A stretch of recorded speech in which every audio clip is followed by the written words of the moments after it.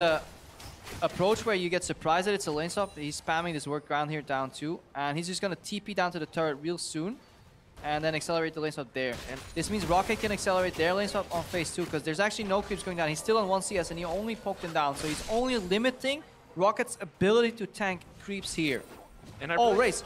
Oh, what? Race! What? That's not what I was expecting.